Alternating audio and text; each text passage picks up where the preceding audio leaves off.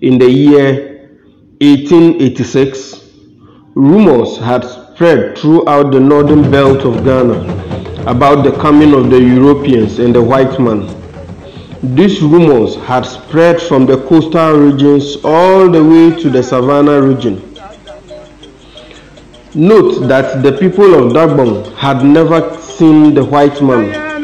Various descriptions of this strange being had intrigued the people of Dagbon, and they laughed and made fun of these descriptions.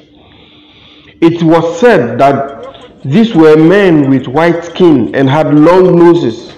They laughed and talked about how easy it would be to catch these human fishes with their fish nets and went about buying more fish nets in anticipation for the arrival of the white. The people of Dagbon were still contemplating on what really the white man was. Were they monkeys or were they fishes? These rumors intensified as the German Empire started their military campaign.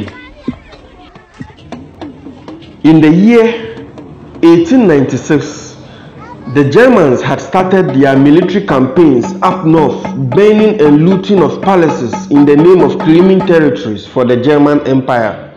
The people of Dagbon were particularly hostile to foreign invasions and they fought bravely to counter all forms of invasions to their land.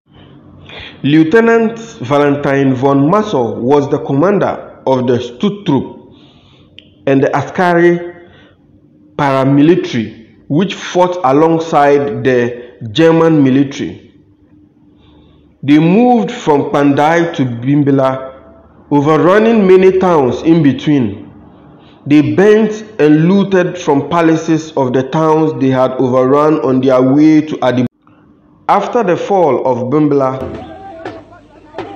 the Bimbila sent a messenger to inform the Yana of the fall of Bimbila the Yana quickly sent messages all across the four corners of the kingdom.